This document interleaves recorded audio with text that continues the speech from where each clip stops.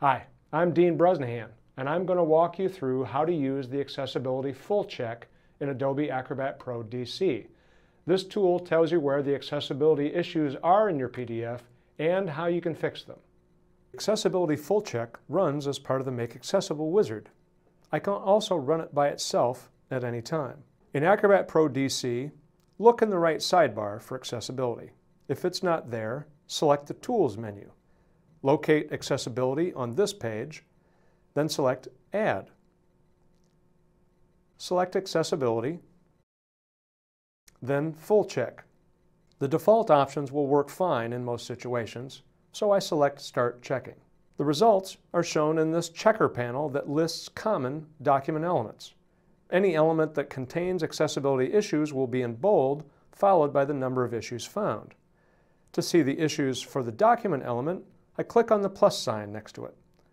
I have found that this element will always have at least two issues, logical reading order and color contrast, because a human being needs to make a judgment.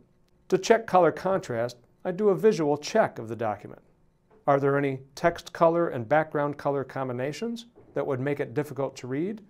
For example, red text on a green background or light blue text on a white background. I see none in this document. I can proceed on to the next issue, or I can right-click on Color Contrast, then select Pass. This places a green check mark next to the issue. This is very satisfying for some people. I'm going to move on to other issues in this document and at the end come back to the logical reading order. I see alternate text has an issue. I click on the plus sign to get more information.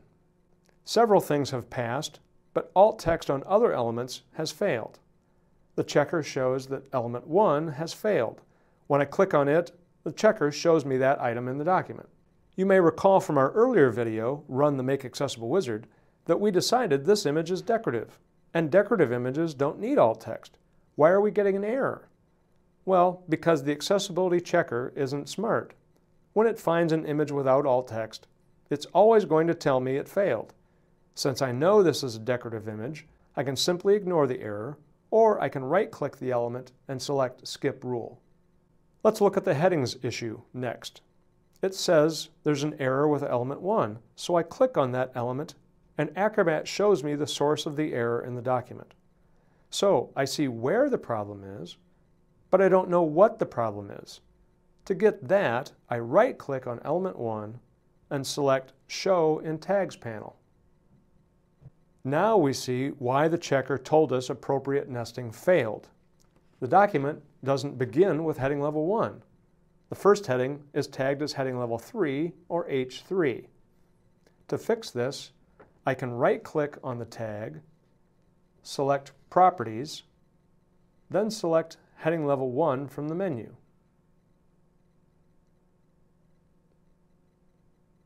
Or I can left click on to select the tag, then left click again to edit the tag. I press enter to finish editing the tag. Now that we've made that correction, I'll go back to the accessibility checker results by clicking on this round icon with the check mark. I right click on the element, select check again, and it confirms I've fixed that error.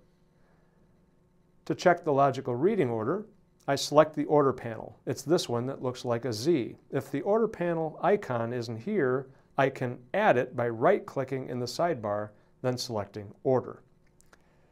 Now I've selected the order panel. I see boxes in my document that show the order the document will be read by a screen reader, and I see the order is messed up. The reading order here should be the same as the order you or I would read it visually. So I want the image at the top to be number one. As I scan my document, I see everything is in order except for the footnote. To fix this, I drag item number 1 in the order panel to the bottom to make it number 14. I scan the document again, and I can see the reading order is fixed. My work in the accessibility checker is done. If you have any questions about accessibility, please email tlt at purdue.edu.